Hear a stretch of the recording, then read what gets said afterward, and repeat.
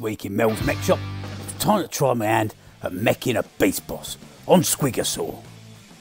From the moment GW first released this model, I knew I had to have it to lead out my Goff beast Snaggas. There's something about the sheer brutality of it, that in particular the Mozrog build brings. I couldn't pass up for my Goffs. But there was just a little niggle at the back of my orky brain that just didn't quite click with the actual Squigasaur sculpt. Whilst the Squigasaur looks freaking awesome, for me it just didn't look big enough or terrifying enough to get them beakies quaking in their boots. No, don't hit me, please. I'm sorry, please don't hit It me. was then that I saw this terrifying looking beast, also from GW, but from the Age of Sigmar Kruleboyz line, and it's called a Scumdreg, I think.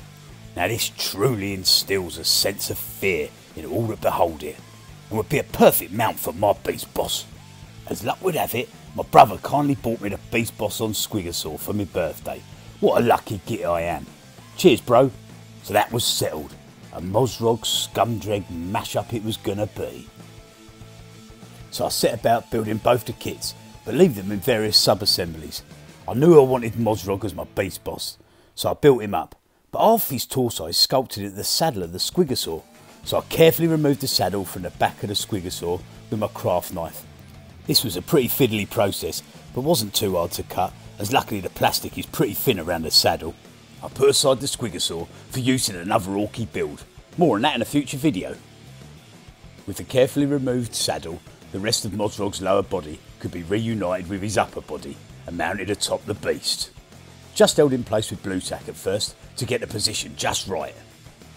With beast and boss both pretty much set, it was then time to try and tie the two together by getting the beast looking a bit more 40k rather than swamp dwelling stinker. I removed some of the spikes from the beast's head armour and started building up some crude armour panels on its side out of 1mm thick plastic card and plastic lollipop sticks that I imagine had been looted from blown out vehicles found out on the battlefield and hastily bolted on to give some sort of protection and intimidation factor. Also built up some armour plates on the beast's exposed neck in front of the saddle using more plastic card and a couple of spike plates from the shop Jump Dragster kit I think. I wanted there to be no doubt whose clan this beast belonged to. It was time for a banner, so I made a huge Goff raging bull horned skull glyph out of plastic card and mounted on his back for all to see. With banner, beast and boss boxed, it was on to basing. Damn, that's a lot of bees.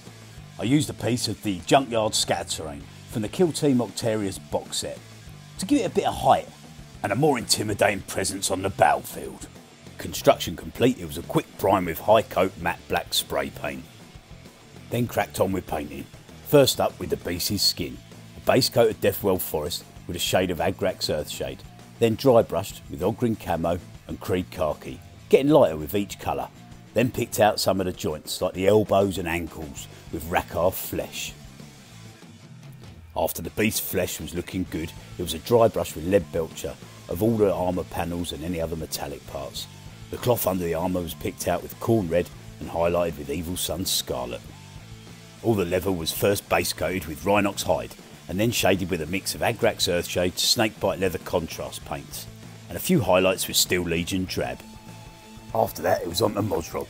Painted up his skin starting with a really dark mix of Warpstone Glow and Mournfang Brown, then highlighted up using a bit of Ushabti bone mixed in greater amounts for each layer. A nice bit of weathering using Vallejo Rust over Typhus Corrosion technical paint. And that's it. Beast Boss on Squigasaur. Kit bash done.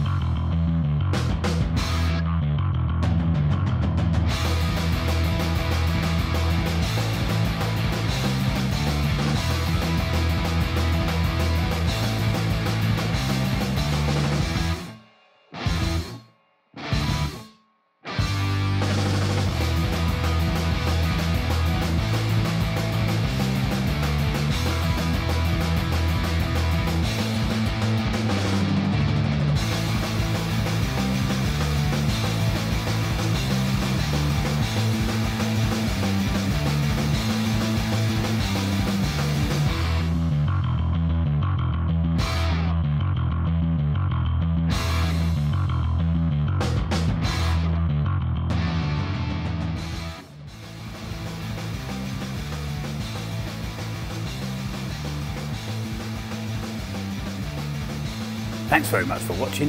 I hope you liked the video and build. If you did, give the video a like and consider subscribing for more Orky builds.